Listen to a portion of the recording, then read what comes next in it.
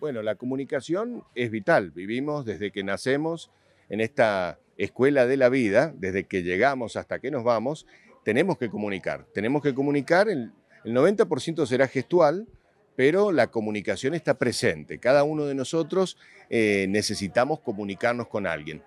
Y cada vez que un padre o una madre comunica, lo que hace en realidad está trasladando un mensaje. Muchas veces las personas aprenden eh, lo que ven y otras veces aprenden lo que escuchan y otras veces aprenden lo que les contamos. Nosotros como padres tenemos la responsabilidad de comunicar con mucha precisión para poder tener para, con mucha precisión para poder saber que el niño va a hacer exactamente todo lo que vea en nuestra casa. Si nosotros hablamos bien, él va a hablar, va a hablar bien. Si nosotros hablamos mal, va a hablar mal. Si nosotros lo tratamos mal, va a tratarse mal. Comúnmente nosotros vamos sembrando una semilla que cosecharemos cuando seamos mayores. ¿Y qué papel o qué rol juegan los medios de comunicación y los dispositivos tecnológicos en nuestras vidas y en la comunicación? Es muy buena pregunta. Yo creo que el, el, papel es el que primero le damos nosotros al medio, dentro de una familia estoy hablando, ¿no? Nosotros le otorgamos al medio un espacio, un lugar. A veces el televisor está en la cocina de la casa donde se come y se come solo con el televisor prendido o se come solo con música. Bueno, todas estas cosas son los permisos que nosotros como familiares le hemos concedido al medio masivo. El medio masivo hace lo mejor que puede y en un contexto de cambio continuo posiblemente vamos a comenzar a encontrar un medio masivo que está sufriendo el cambio igual que lo estamos sufriendo todos en las tecnologías. El medio está eh, un medio nunca yo hubiera pensado que un video llamativo de las redes sociales, eh, un medio lo tenga que pasar para, para contar algo nuevo.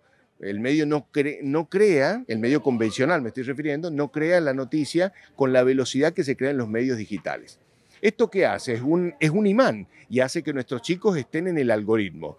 ¿Qué es el algoritmo? El algoritmo es exactamente el código por el que yo me entero que un niño le gustan los videos de fútbol o de perritos o de gatitos. Y voy a enviarles tantos videos como pueda para que el niño nunca deje la pantalla. Si no deja la pantalla, para mí es un buen eh, negocio, porque yo le voy a contar, tengo tantos millones de personas mirando exactamente mi pantalla. Eso hacen las grandes redes sociales y lo que nosotros como padres tenemos que hacer, como hicimos con la televisión, como hicimos con la radio, también con el teléfono, tenemos que aprender a tener disciplina, pausa, espacios, no almorzar con el teléfono móvil puesto, encendido y mirándolo en la mesa, sobre todo los padres, después los chicos, entonces es como una dinámica de reflexión que la comunicación primero es humana y luego va la tecnológica. Hay que pensar que estamos viajando hacia la inteligencia artificial a una velocidad increíble.